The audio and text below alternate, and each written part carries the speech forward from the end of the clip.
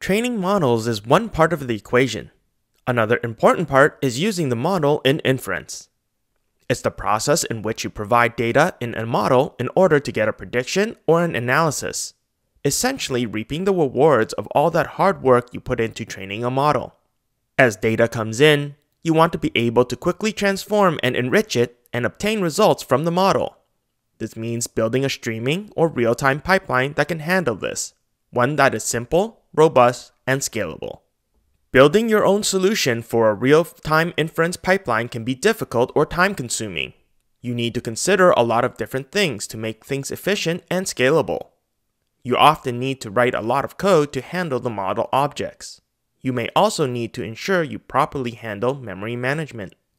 Without using a framework, you need to build your own solution.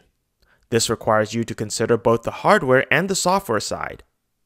There are many permutations of such, but determining an optimized solution is often difficult. Adding parallelism to the equation complicates it further. When doing inference in a parallelized manner, you are often memory constrained. Given one or more models, you can have one of three possible options. You can fit many copies of your models into memory. You can fit a single copy of each of your models into memory.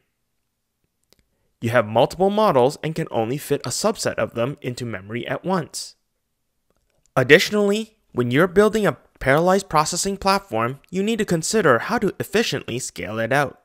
You may build many identical pipelines in parallel, but cannot share data easily in between them. Creating a complex system to handle such tasks requires many considerations. This is where Apache Beam, a framework for data processing, can help.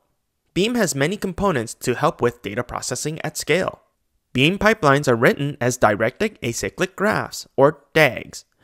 They help you move data in a deterministic and robust way, allowing you to understand relationships between pieces of data and their states. In your DAG, each step is called a p-transform. Each step performs one or more actions on your data. One such p-transform is the run inference transform, which is a turnkey transform. Turnkey transforms aim to reduce the amount of code you need to write to achieve your goal. The run inference p-transform handles the prediction for you with the help of the model handler object. We load in a Gemma model using a key model handler. Gemma is a family of lightweight state-of-the-art open models from Google. We chose here to use Keras. However, you can use many different types of APIs such as PyTorch or your favorite API of choice. Let's build our pipeline. This example is a streaming pipeline that reads from PubSub and passes the prompt into the next step, the run inference p-transform, which uses the model handler we created above. The results are then parsed out and outputted. We chose to output to PubSub to demonstrate, but you can continue processing or send the data payload elsewhere. With Beam, you can have multiple inputs and multiple outputs for various steps in your pipeline. Multiple inputs and outputs usually means collating or sharding out the steps. One way to organize the steps in pipelines is to use keys. BeamML has a wrapper around the model handler, keyed model handler, that allows you to use keys to determine what to do with that piece of data tagged with a key.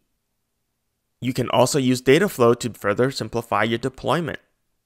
Dataflow is a fully managed streaming analytics service that executes pipelines written with the open source Apache Beam framework.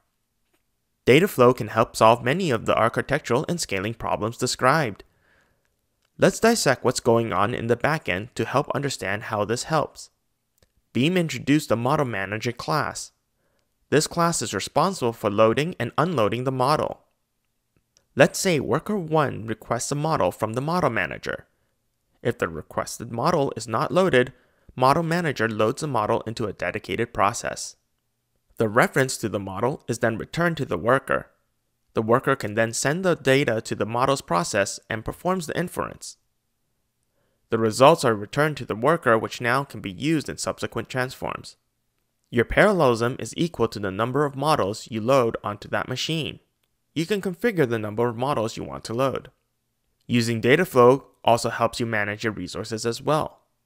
Dataflow can use right fitting to make sure you utilize your resources optimally. Right fitting is when you are able to select specifications for each particular step of your pipeline, allowing you to be efficient with your resources, providing robust execution without overspending on GPUs or memory. These features let you combine the powerful data processing capabilities of Dataflow and perform inference on that data with Beam's simplified model handler and run inference p-transform. That's it for now. Click the links below to learn more. There are notebooks that you can regularly deploy and try it out for yourself. Thanks for watching. See you next time.